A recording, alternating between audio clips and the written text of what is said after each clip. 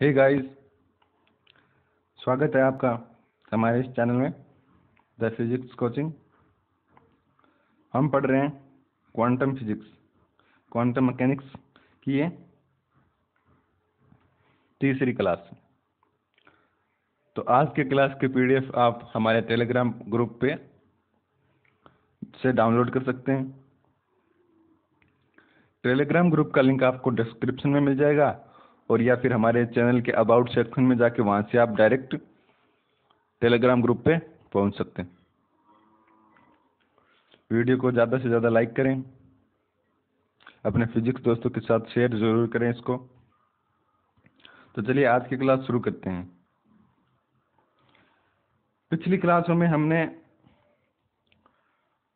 Quantum mechanics के origin और फिर फ़ोटो इलेक्ट्रिक इफ़ेक्ट और कॉम्पटन इफ़ेक्ट के बारे में पढ़ा था। आज हम उससे थोड़ा आगे बढ़ेंगे। तो आज हम पढ़ेंगे डी ब्रोगली के बारे में। डी ब्रोगली का कॉन्सेप्ट क्या है? तो जब लाइट के बिहेवियर के बारे में एक्सपेरिमेंट्स चल रहे थे तो आइंस्टीन ने बताया था कि लाइट क्या है? पार्टिकल नेचर से बना हुआ है फोटोन नाम के एक पार्टिकल से मिलकर बना हुआ है। तो उस टाइम में एक जो डी ब्रोगली नाम के एक रिसर्च स्कॉलर थे, यानी कि वो अपनी रिसर्च कर रहे थे किसी यूनिवर्सिटी में। तो वहाँ अपनी उस पीएचडी की पढ़ाई में उन्होंने एक रिलेशन दिया कि ये सिर्फ़ लाइट पार्ट, लाइट वेव के लिए ही क्यों? ये सभी वेव के लिए होना चाहिए। मैटर वेव के लिए भी सेम रिलेशन होना चाहिए। तो उन्होंने उन्होंने वेव पार्टिकल ड्यूलिटी कहा कि प्रत्येक जो पार्टिकल है, वो वेव की तरह बिहेव करेगा। प्रत्येक वेव मैटर वेव की तरह बिहेव करेगा ठीक है? तो ये डी ब्रोगली का कॉन्सेप्ट है। तो each material particle of momentum p behave as a group of wave that is called matter wave colour change करते हैं थोड़ा ये कैसा रहेगा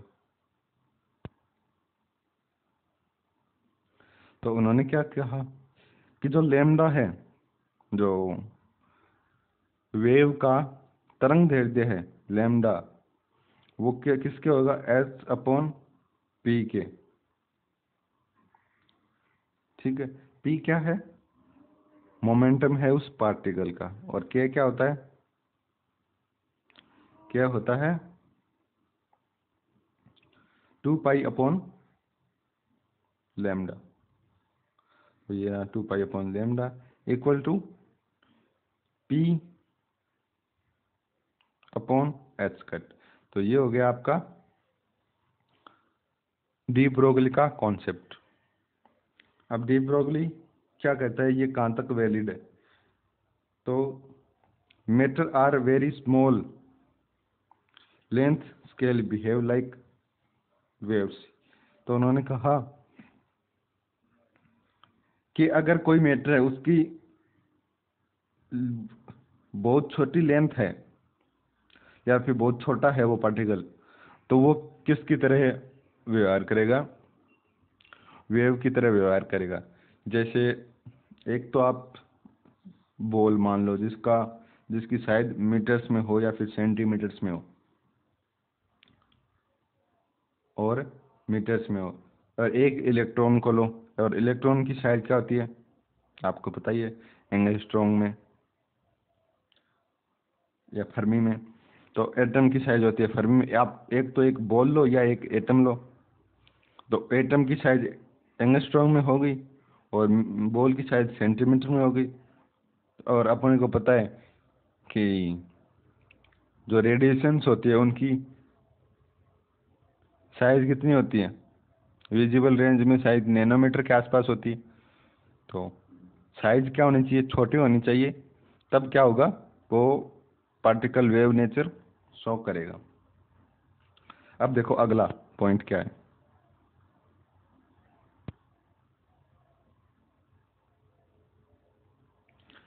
अगला पॉइंट ये है कि electron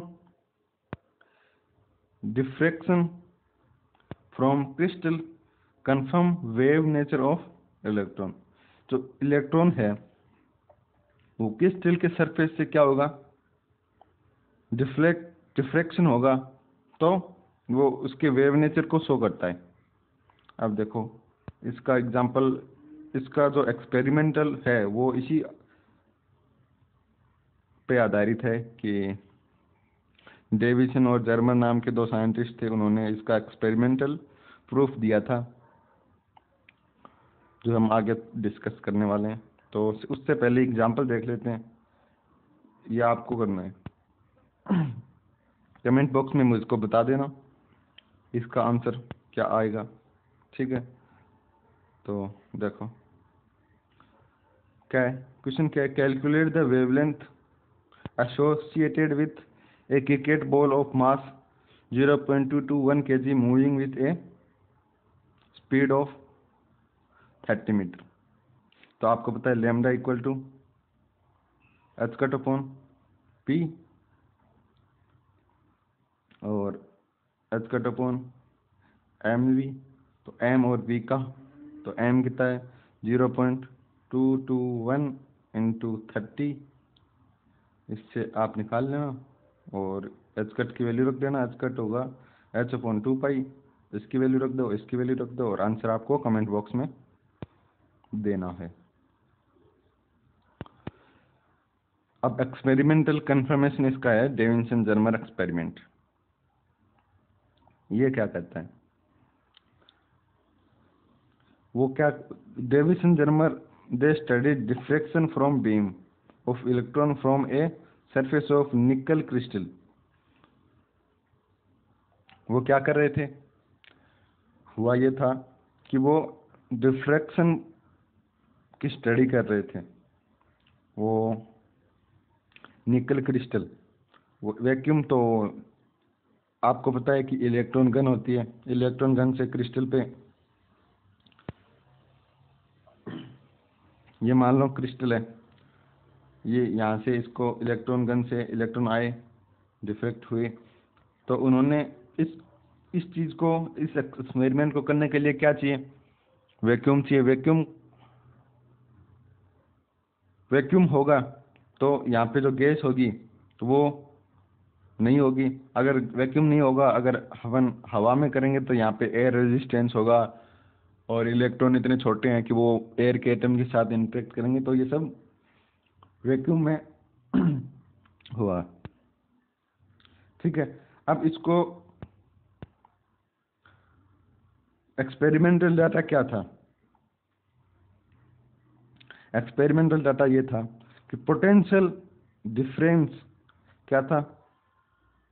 54 volt kinetic kinetic energy of electron क्या होगी? 54 electronvolt intensity was maximum at theta of 35 यानी कि ये कोई इलेक्ट्रॉन गन है यहाँ पे। यहाँ पे मेरा निकल क्रिस्टल है। और इसके चारों तरफ़ मैंने क्या रखा है? डिटेक्टर रखा हुआ है डिटेक्टर ये डिटेक्टर यहाँ से आती हुई इलेक्ट्रॉन बीम को क्या करेगा? कैप्चर करेगा। तो ये जो मेरा डिटेक्टर है, इसको क्या कर सकता हूँ मैं? यहाँ से यहाँ तक ऐसे मूव कर सकता हूँ। तो जो जो मिनिमम इंटेंसिटी मेरे को प्राप्त हुई, वो क्या थी? एंगल ये थीटा थर्टी फाइव पे। ठीक है?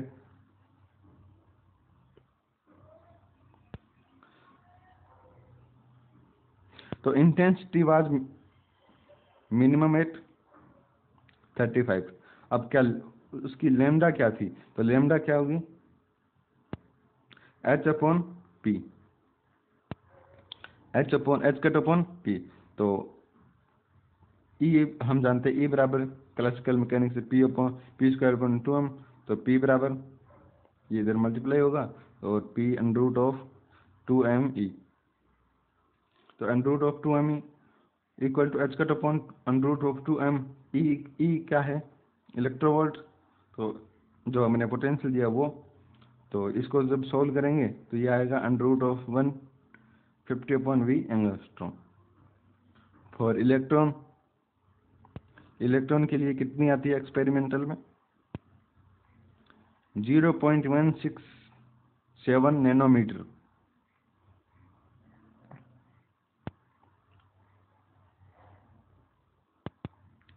है ना? और जो ब्रेक था साइंटिस्ट साइंटिस्ट ब्रेक ने भी, उन्होंने भी यही इंटरफ्रेंस पैटर्न प्राप्त किया था, किसके साथ? Two D sine theta equal to N lambda उन्होंने भी उन्होंने भी यही डिफ्लेक्शन पैटर्न प्राप्त किया था। और ये डाटा डेविसन जर्मर के साथ एकदम परफेक्टली मैच हो रहा था, जो लेमडा यहाँ से हमको प्राप्त हुई और जो लेमडा यहाँ से अपने को प्राप्त हुई एकदम लगभग सेम थी।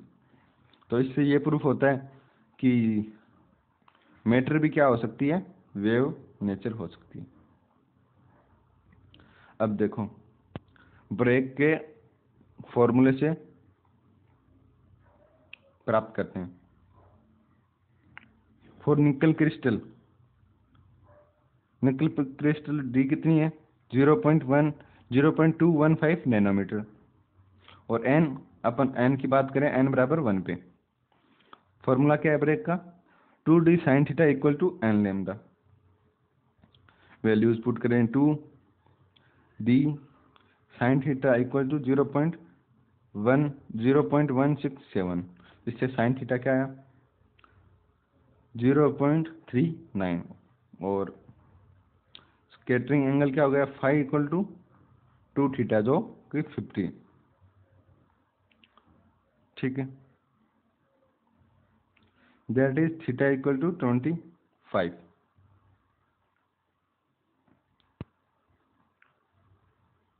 अब देखो, उनका थॉमसन एक्सपेरिमेंट।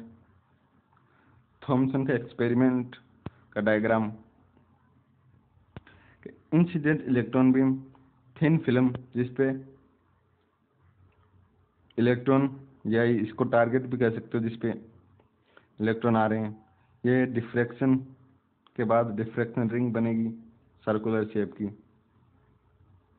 जिसे कहते हैं फोटोग्राफिक प्लेट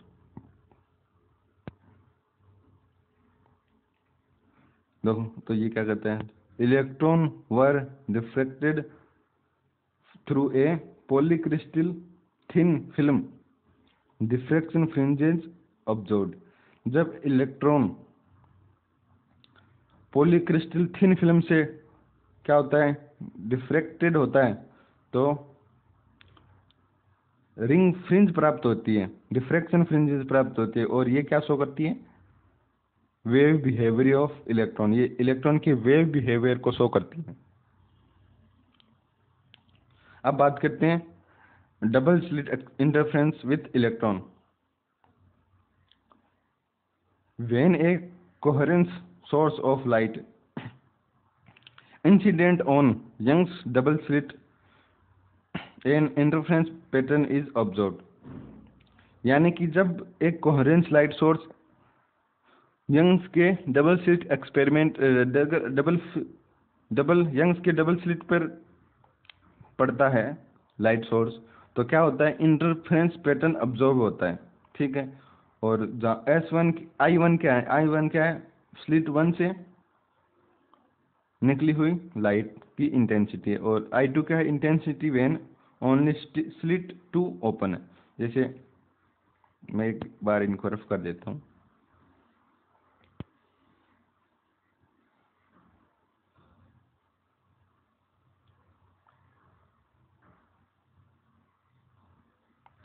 सपोज़ कि ये मेरे पास, यहाँ, ये मेरे पास क्या है?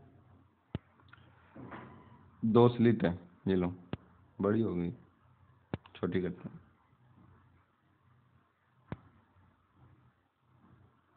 ये दो छोटी छोटी स्लिट है।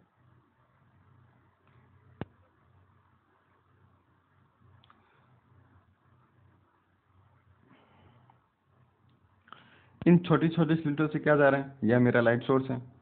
यहाँ से लाइट जा रही है। तो यहाँ और यहाँ से क्या हुआ? लाइट सोर्स गया। यहाँ पे इंटरफ्रेंस पैटर्न बनेगा। तो इसको जब ये ओनली ये ओपन हो, ये वाली तो आई वन है। ओनली ये ओपन हो तो आई टू है। When both slit are open then intensity क्या होगी? I equal to I one plus I two plus two under root of I N I two cos phi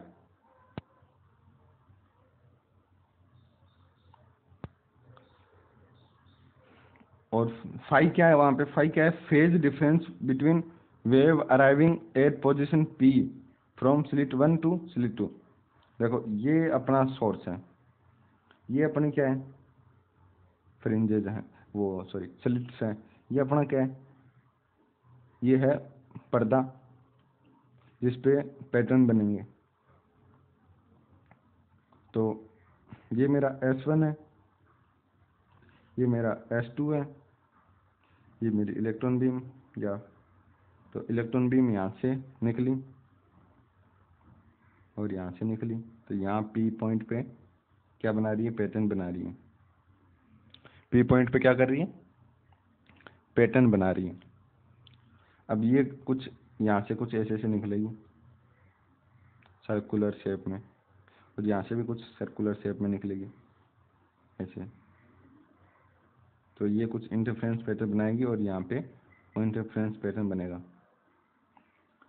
ठीक है तो फाइव क्या है? फ़ेज़ डिफरेंस है इन दोनों में। ठीक है तो फ़ेज़ डिफरेंस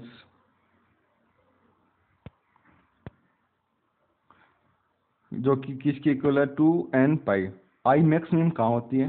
जब root one plus root two का होल स्क्वायर और I minimum equal to root one, root I one minus root I two का होल स्क्वायर। इसे कहते हैं संपोषी और इसे कहते हैं विनाशी।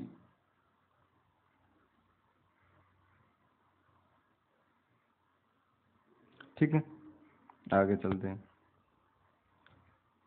अब इसके बारे में कुछ जानते हैं। Intensity odd for classical particle.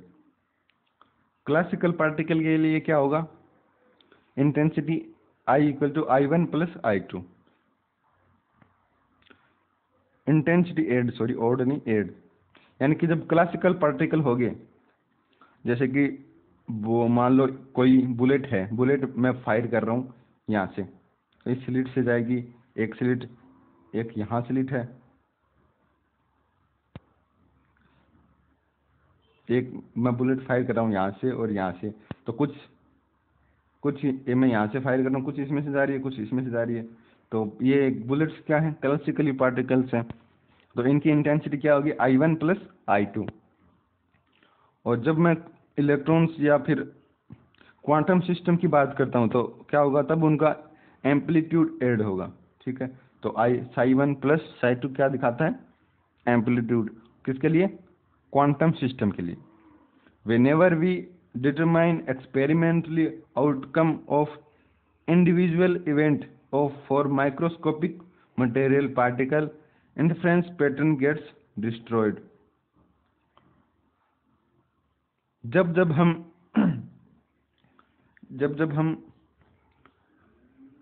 किसी क्वांटम सिस्टम या फिर माइक्रोस्कोपिक एक्सपेरिमेंट को देखने की कोशिश करते हैं। मान लो मैं ये जो स्लिट्स बन रही है, इन स्लिट्स पे क्या लगवा दूँ? एक ऑब्जर्वर ऑब्जर्वर बिठवा दूँ। यानी कि मान लो मैं यहाँ पे मशीनें लगवा दी और मैं देखना चाहता हूँ कि इलेक्ट्रॉन कौन सी स्लिट से जा रहा है, या एस वन से जा रहा है, या एस टू से जा रहा है। तो इसको देखने के लिए मेरे को क्या करना पड़ेगा? सिस्टम से छेड़खानी करनी पड़ेगी। सिस्टम से छेड़खा, छेड़खानी करूँगा तो क्या होगा? जो यहाँ पे पर्दे पे क्या बन रहा था? फ्रिंजेस बन रही थी, पैटर्न बन रहा था, ये पैटर्न हमको प्राप्त नहीं होगा। ये पैटर्न क्या हो जाएगा? डिस्ट्रॉयड हो जाएगा। ठीक है? जिस पे बेस्ड श्रोडिंगर कैट, आपने श्रोडिंगर कैट के बारे में तो सुना ही होगा।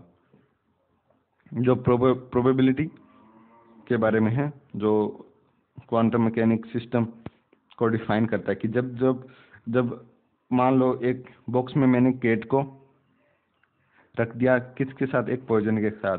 तो अब मेरे को, अब मेरे पास क्या प्रोबेबिलिटी है कि केट अलाइव है या डेड है? तो one by root two psi alive plus one by ये तो हो गया साई डेड तो मेरे पास ये प्रोबेबिलिटी आती है, ये फ़ंक्शन आता है मेरे पास कि केट अलाइव है या फिर केट डेड है। तो ये मेरे पास ये स्टेट आ गई उस सिस्टम की, ठीक है?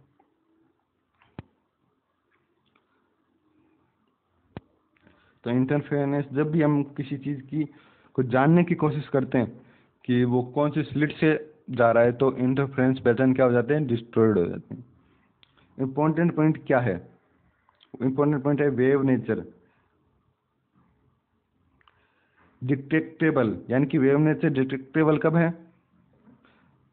जब लेमडा क्या हो? साइज़ सिस्टम की साइज़ से क्या हो? बड़ी हो या इक्वल हो। और नॉन डिटेक्टेबल कब है? जब लेमडा सिस्टम की साइज़ से छोटी। अब हम रिलेटिव और नॉन रिलेटिव केसेस के बारे में देखते हैं।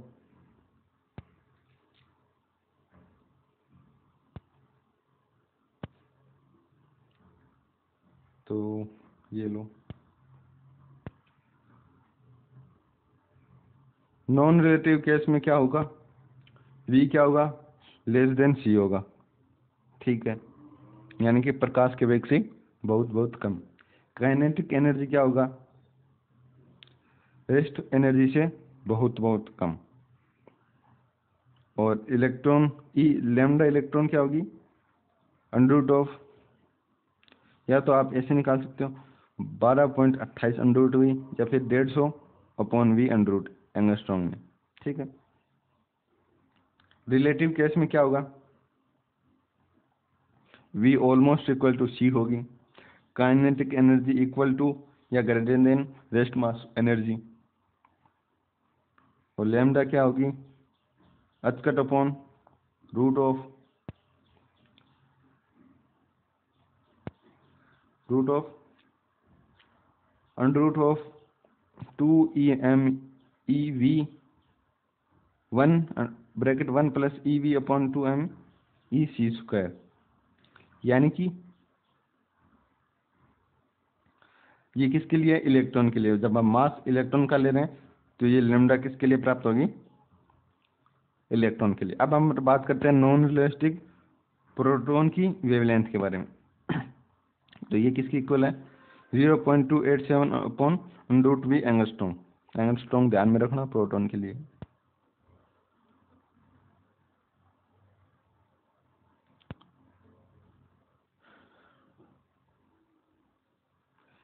अब बात करते हैं इक्वी पार्टीशन थ्योरम के बारे में। अब इक्वी पार्टीशन थ्योरम क्या है? कि average thermal kinetic energy associated associated with each degree of freedom is root 1 by 2 kBT पर non relativistic case non relativistic case के लिए एनर्जी क्या होगी? Per free per, per degree of freedom के लिए one upon K B T और relativistic case के लिए के बी टी जहाँ के क्या है? बोर्ड मान कांस्टेंट टी क्या है? टेम्परेचर जैसे अपन गैस गैस के बारे में गैस की काइनेटिक एनर्जी की बात करते हैं या गैस की एनर्जी की बात करते हैं तो अपन क्या लिखते हैं? Three by two K B T ये लिखते हैं ना? और गैस का एक पार्टिकल की डिग्री ऑफ़ फ्रीडम क्या होती है? एक्स एक्स एक्स में वाई में और जेड में। तो कितनी डिग्री हो गई? थ्री डिग्री थ्री डिग्री के three by two K B T ठीक है? सबको ऐड कर देंगे। और क्वांटम मैकेनिक्स में ये क्या सॉरी रिलेटिव केस में क्या होगा? पर डिग्री ऑफ़ फ्रीडम क्या होगा? के बी टी अब lambda average lambda H cut upon N root of N M K B T और मोस्ट प्रोबेबल क्या होगा? H cut upon root of two N M K B T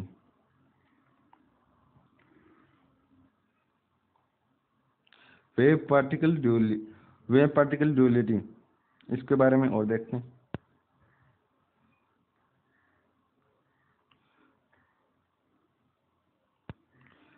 ये क्या जो वेव पार्टिकल ड्यूलिटी है particle and wave equality important for a complete description of quantum mechanics यानी कि जब जब हम क्वांटम मैकेनिक्स के बारे में पढ़ेंगे तो पार्टिकल नेचर के बारे में भी पढ़ेंगे और साथ साथ में वेव नेचर के बारे में भी एकदम डिटेल में पढ़ेंगे। क्योंकि दोनों के बगैर क्वांटम मैकेनिक्स को समझना मुश्किल है।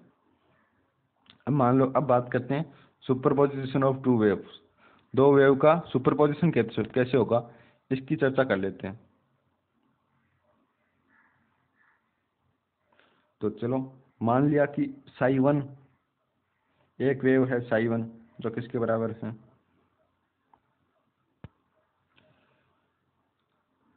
A cos K one X minus omega one T दूसरी मान ली वाई टू बराबर A cos K two X minus omega T omega two T तो क्वांटम मैकेनिक्स में क्या होता है? एम्पलीट्यूड ऐड होते हैं तो psi one plus psi two add किया मैंने। तो ये हो गया ए बाहर cos K one X minus omega one T plus cos K two X minus omega two T अब इसको कोस फॉर्मूले से इसको एक्सपेंड करेंगे तो ये two A cos K one plus K two point two X minus omega one plus omega two point two T cos K one minus K two upon two X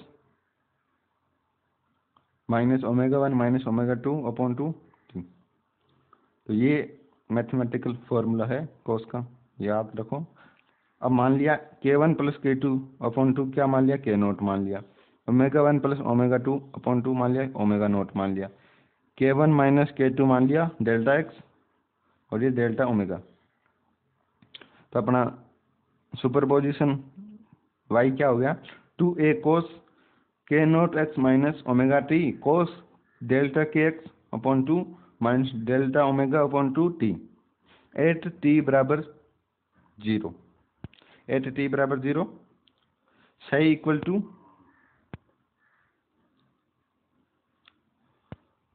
equal to two A cos no K naught X cos delta K upon two X ठीक है?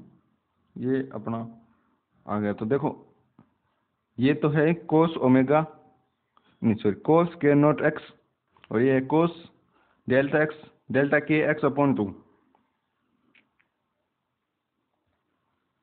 और ये फिर पूरी superposition की वजह से जो वेव बन रही है, वो। तो phase of wave always constant यानी कि जो फ़ेज़ है वो K naught X minus omega naught T equal to always constant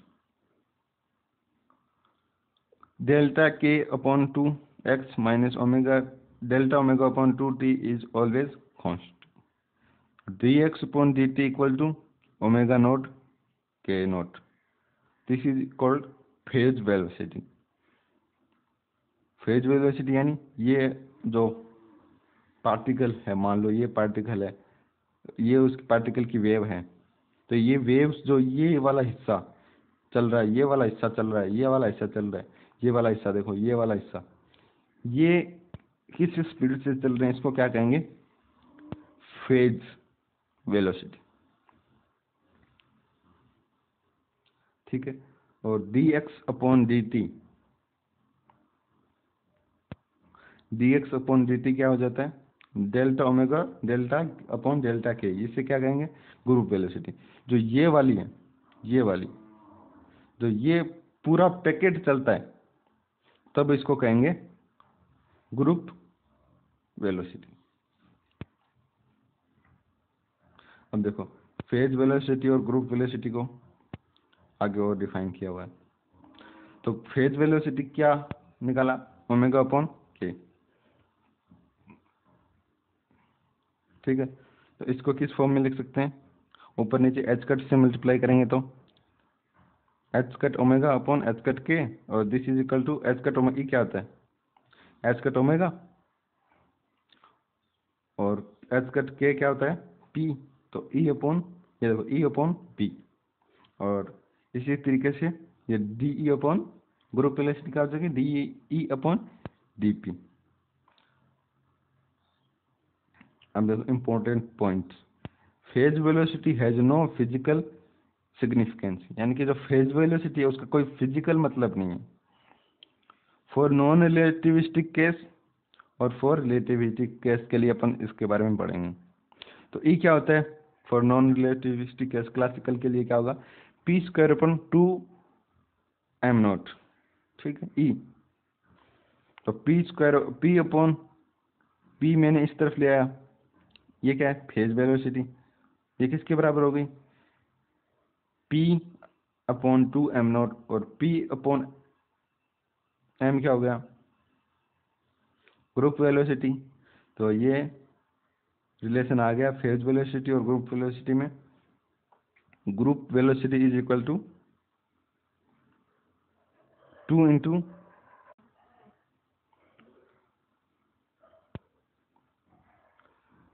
अब देखो, ये क्या है? रिलेटिविस्टिक केस के लिए क्या आता है? W sorry V P equal to E upon P और ई e क्या होगा? Gamma upon M naught C square P क्या होगा? Gamma upon gamma into M naught V ठीक है? तो वी पी क्या हो गया? सी ये तो कैंसिल हो गए। क्या बता C upon V into C इसका मतलब क्या हो गया? V is greater than C ये तो क्या हो कॉन्ट्रेडिक्टी क्योंकि कोई भी वेलोसिटी सी से ज़्यादा नहीं हो सकती। तो इसका मतलब that is group velocity give the interpretation of the particle velocity.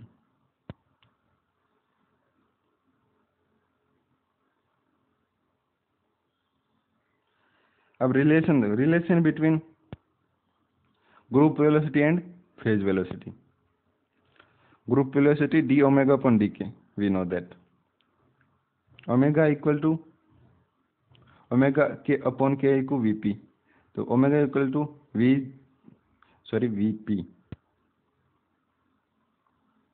तो इसको लिखूँगा मैं वी पी तो omega equal to V P into K ठीक है, ये मैंने यहाँ रख दिया। इससे मैंने इसका डिफ्रेंशिएशन किया। तो पहले वी पी बाहर के का डिफ्रेंशिएशन किया तो D K upon D K one plus K बाहर D V P upon D K पहली समीकरण। दूसरी, मैं क्या करूँगा? हम जानते हैं K equal to two pi upon lambda है ना?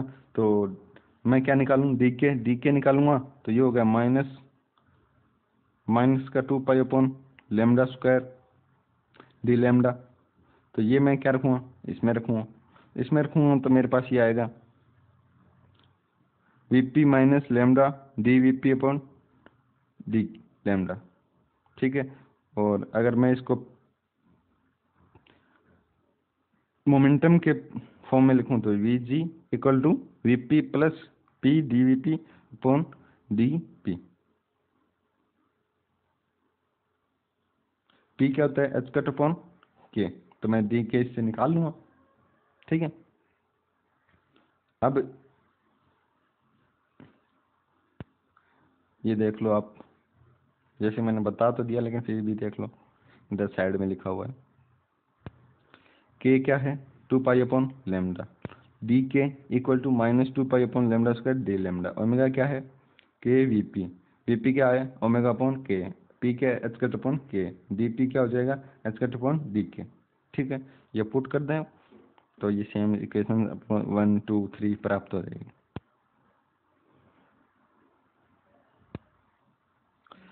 अब चलते हैं फोर्थ पॉइंट पे। फोर्थ पॉइंट क्या कहता है? फोर्थ पॉइंट कहता है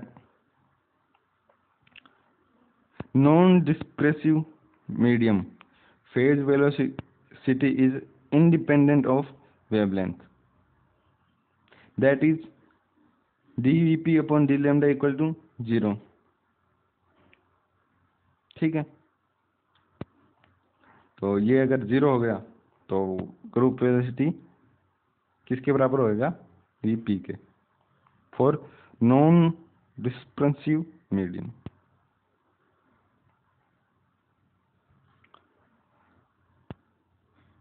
अब पांचवा पॉइंट पांचवा पॉइंट है।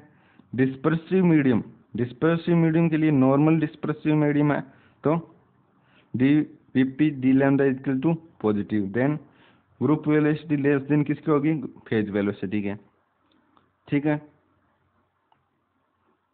और D lambda, D N upon D lambda, क्या होगा? नेगेटिव। एन क्या आता है? C upon V. ठीक है तो लेमडा बढ़ेगा तो क्या बढ़ेगा? फ़ेज़ वेलोसिटी भी बढ़ेगी। N N normal dispersive dispersive medium के लिए D V P upon D T equal to minus negative that is group velocity क्या हो जाएगी?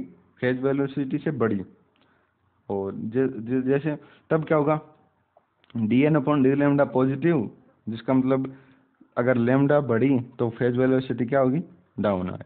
ओके तो that's all for guys video कैसा लगा यह आप कमेंट करके ज़रूर बताएँ। और आपको और डिटेल में चाहिए तो आप और बताइए। कुछ भी प्रॉब्लम हो, टेलीग्राम ग्रुप रहा, अपने कमेंट बॉक्स रहा, कैसे भी बताओ, लेकिन बताओ। ठीक है? और चैनल को क्या करोगे? सब्सक्राइब करोगे, वो लाल बाल, लाल वाला बटन है, उसको दबाओ। और अपने दोस्तों के साथ शेयर ज़रूर करो। ठीक है? Thank you have a good day